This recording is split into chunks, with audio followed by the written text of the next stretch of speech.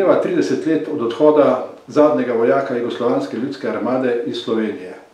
Z menoj je dr. Boris Žnidarič, ki je oktobra 1991 poveljeval akciji odhoda Jugoslovanske ljudske armade iz Slovenije. To se je dogajalo v pristanišču Koper. Boris, kako je to potekalo, kakšna je bila tvoja vloga, kaj se je predhodno dogajalo oziroma in kaj se je dogajalo v samem Kopru na dan odhoda? Kako si vse to ti doživljal in v kakšni vlogi si vse nastopal? Lepo pozdravljeni. Lepo se je spominjati in s ponosom se spominjam dogodkov izpred 30 let. Naj uvodoma povem, da sem sodeloval tudi na pogajanjih v Zagrebu 3. julija, na pogajanjih na Brionih 7. julija in da sem vse čas sodeloval v pogajalski skupini Republike Slovenije s pogajalci takrat še SFRJ, torej zveze, ki jo je uspešno vodil danes žal že pokojni Miran Bogataj. Na teh pogajanjih smo izvedeli marsikatero podrobnost, namenov in ciljev Jugoslovanske armade, takrat na sveže osamosvojeni Republiki Sloveniji. In seveda pot do tega trenutka, do odhoda Jugoslovanske armade iz Republike Slovenije je bila dolga in naporna. Naj spomnim, da to poletje je bilo zelo intenzivno, zelo intenzivno pogajanje, je bilo veliko na lokalni ravni in seveda tudi na državni ravni. Naj ob tem še opozorim na prisotnost opozovalcev Evropske unije, kar je bila posledica sprejetega sklepa na brionskih pogajanjih. Tako da smo bili vse čas polno zaposleni. No, na vprašanje o odhodu zadnjega vojaka Jugoslovanske armade iz Republike Slovenije, seveda je treba opozoriti, da do 15. oktobra nismo vedeli, kako bo ta umik potekal. Čeprav, če se dobro spomnimo, je umik enot Jugoslavijske armade potekal že od julija, začel še tam 23. julija, ko so se po cestah umikali konvoji, ko so seveda tudi letala in helikopteri letali eh, iz Slovenije na jug, saj je bila odredba takratnega zvezdnega sekretarja za ljudsko brambo, da se 31. korpus, to je Mariborski korpus, umakne v Bosno, in da se 14. korpus umakne v Srbijo. Tako da so ti premiki že bili, tukaj govorimo pravzaprav o zadnjem dejanju v Luki Koper, o odhodu ostankov ljudske armade, torej pripadnikov, nekoč smo rekli jugoslovanske ljudske armade, od agresije naprej pa govorimo o jugoslovanski armadi, ker v njej ni bilo več niti slovencev, niti hrvatov in makedoncev, praviloma že ne več. Tako da smo poenostavili ta naziv Jugoslovanska armada in tukaj govorimo o umiku ostankov ljudske armade iz Republike Slovenije. No, naj ob tem še povem, da smo na pogajanjih v, v Belgradu in kasneje tudi 18. oktobra v Ljubljani dorekli podrobnosti. Namreč v Sloveniji je bilo še veliko vojne tehnike in to vojne bojne tehnike. Dogovorjeno je bilo, da smejo iz Slovenije odpeljati 200 vozil, nebojnih vozil in osebno oborožitev, ki pa ne vključuje težkih bojnih eh, naprav in tako naprej. Tako da eh, pogajanja so bila zelo naporna, ker je bilo treba seveda iz, izpogajati kar se da ugodne okoliščine za Slovenijo. Na drugi strani so se pa predstavniki eh, Zvezdnega sekretarata za ljudsko obrambo in federacije seveda prizadevali, da bi odpeljali čim več in seveda tudi zelo nevarnega orožja, težke bojne mehanizacije, kar pomeni, da bi lahko uporabili na Hrvaškem, v Bosni, pa verjetno še kje. Kar se seveda kasneje tudi dogajalo, kar smo seveda lahko mi kot svobodna in osvobojeni državljani Republike Slovenije spremljali po medijih. Eh, sprva ni bilo predvideno, da bi umik potekal iz pristanišča oziroma Luke Koper, ampak so bile tudi neke druge opcije. Kaj se je dogajalo, zakaj je potem to se zgodilo iz Kopra, da je ta zadnji umik šel iz Kopra? In še drugo bi vprašal, a so bili kakšni zapleti v Kopru, a so bile težave, eh, kaj je bilo še, kako je bilo, to je le bil en tak prelomen dogodek, ne? so bile ljudje, ljudje so bili verjetno skrajno napeti, psihološka situacija je bila verjetno zelo napeta. Kaj se je vse dogajalo? Ja, dobro vprašanje, moram reči. Do 15. oktobra pravzaprav lokacija umika ni bila dorečena.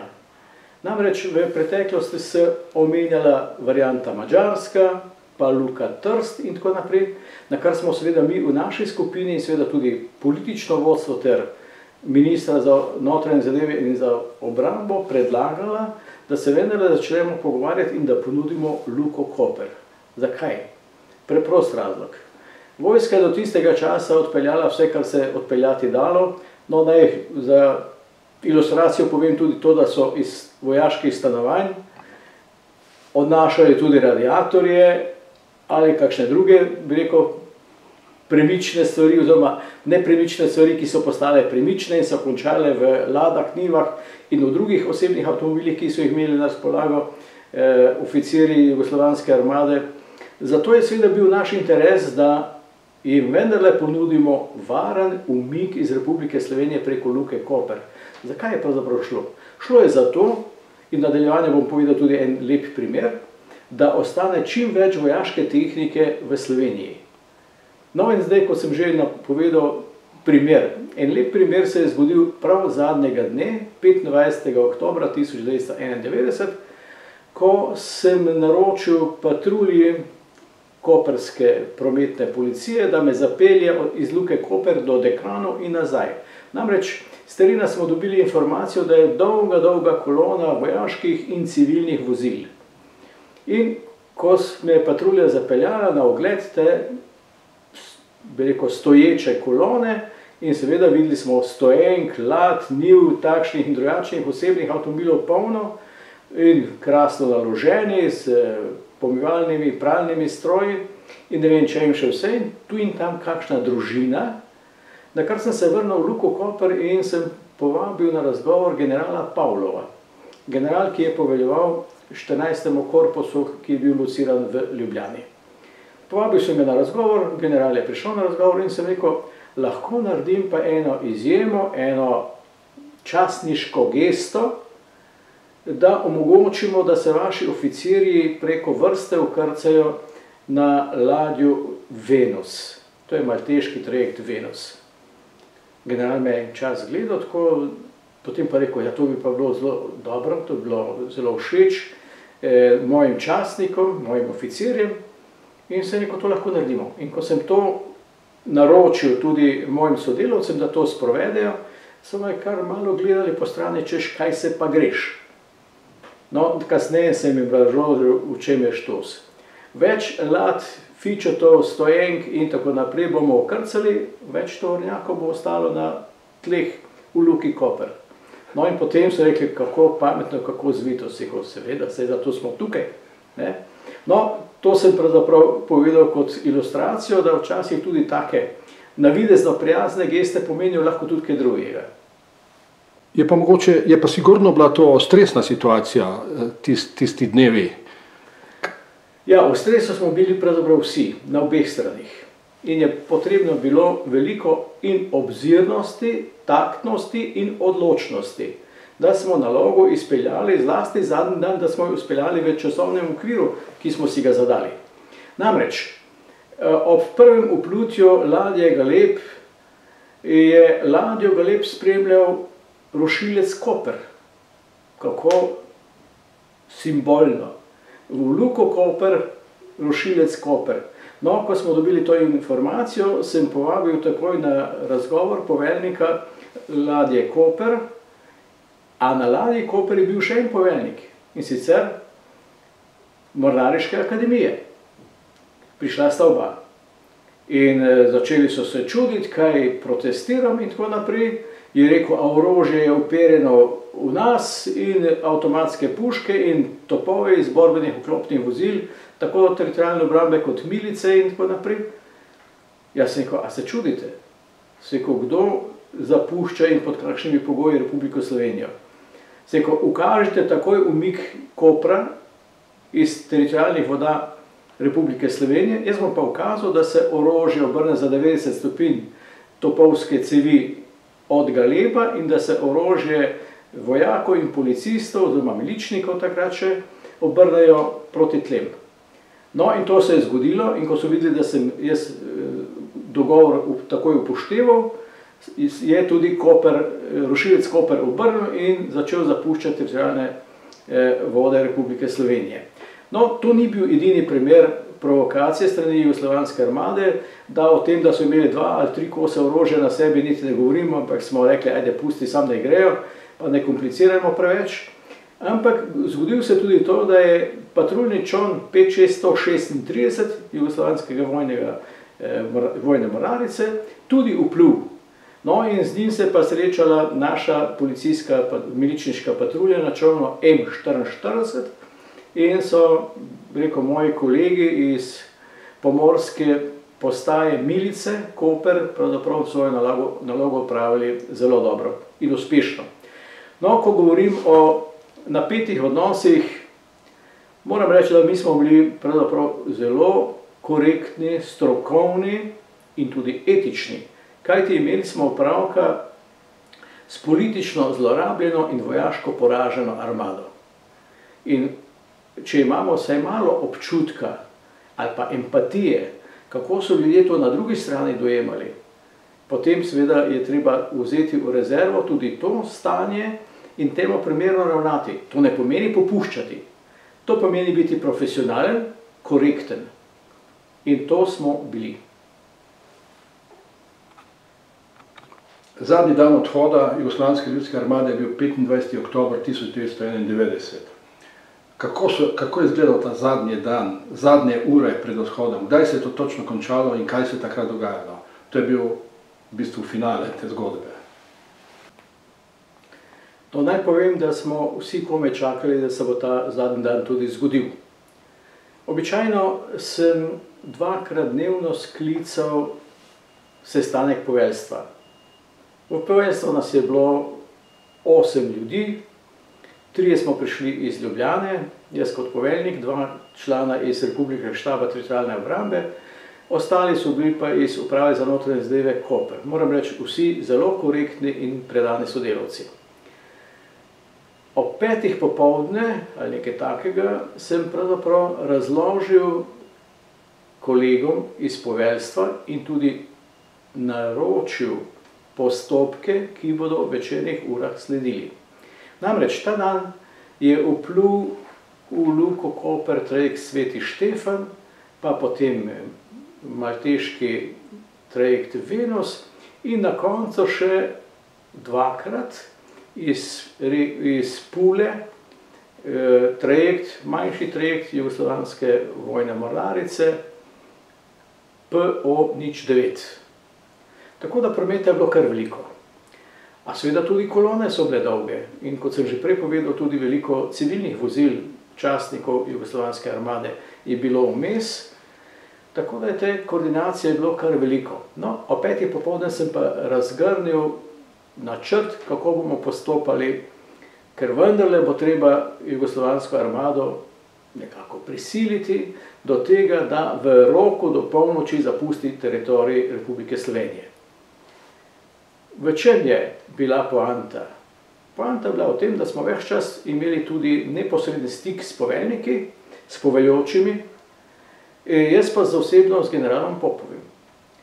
Naročil sem, da se ob 23. umaknejo vse naše enote z vidnega polja Jugoslovanske armade, pomeni pa, da so tudi častniki Jugoslovanske armade, nekateri bili zelo nestrpni in nevoljni, ker nekateri so pustili še družine, družinske člane v Sloveniji, imeli so, bi rekel, dokaj razkošno življenje v primerjavi s tem, kar jih je čakalo v prihodnosti, kar so gotovo vedeli. Nekateri so šli tudi na uboje na Hrvaškem, v Bosni in tako dalje in seveda so bili ljudje razočarani nad vsem tem, kar se mi je zgodilo. To pomeni na drugi strani tudi nekako pretirano občutljivost, razdražljivost, ki bi lahko pomenila tudi iskrico ali pa celo spopad. Ob 23. sem umaknil vse enote, postavili smo nekaj ostrostrelcev, na drugi strani zaliva z ankaranske strani je bila posadka Fagota, ki bi eventualno ukrepala, če bi do česar koli prišlo. Tudi na malteškem trajektu Venus sta se pojavila dva ostrostrelca na vrhu gor, kar smo opazili.